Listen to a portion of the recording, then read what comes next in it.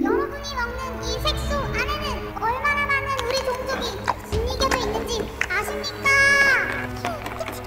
그런데 이제 우리 종족을 살생하지 않고도 딸기맛 색소를 만들 수 있다는 은인이 나타나셨습니다. 박수!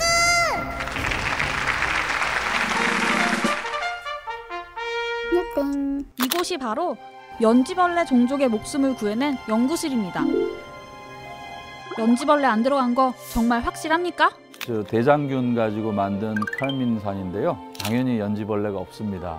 원래 이 카르민산 색소를 만드는 건 연지벌레가 대량으로 필요한 일이었습니다. 그냥 대략 말씀을 드리면 1kg 정도의 칼민산을 생산하기 위해서 한 20만 마리 그 정도의 연지벌레에서부터 추출해야 된다. 특정 지역에서 자라는 선인장에 붙어 사는 연지벌레를 키운 다음에 암컷들을 모아가지고 말려서 그릇에 넣고 빻듯이 그렇게 빻는데 거기서 이제 용매를 넣어서 추출하는 거죠. 그걸 이제 실험실에서 연지벌레 죽음 없이 만들 수 있게 됐습니다. 개발하는데 꼬박 2년 반이 걸린 이 액체가 바로 연구실에서 만들어낸 카르민산. 제가 직접 연구실 박사님과 만져봤는데요. 흰 우유랑 섞으면 딸기 우유의 그 색깔이 나올까요? 진짜 딸기.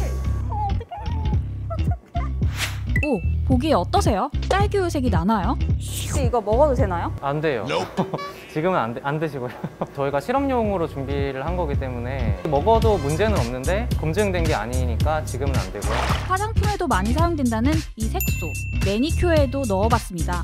카르민산에 이제 금속 이온 같은 거를 첨가를 하면은 또 뭐 붉은색, 핑크색, 뭐 보라색 이렇게 다양한 계열의 색깔을 낼 수가 있어요. 이거 발라봐도 되는 거예요, 이거는? 어, 네. 옅은 다홍빛이 나네요.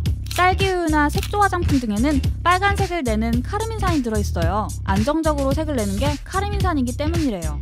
그런데 카르민산을 연지벌레에서 추출할 때 벌레 단백질이 들어가 알레르기를 일으킬 수 있고 연지벌레가 얼마나 잘 자랐냐에 따라 가격 변동 폭이 크대요. 또 소비자들은 벌레에서 만들어졌다는 이유로 혐오감을 느끼기도 하죠.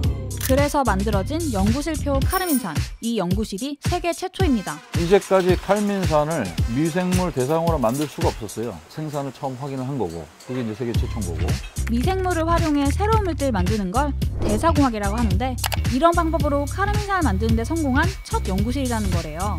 대사공학은 사실 이미 굉장히 많은 부분에서 우리 생활을 바꿔왔어요.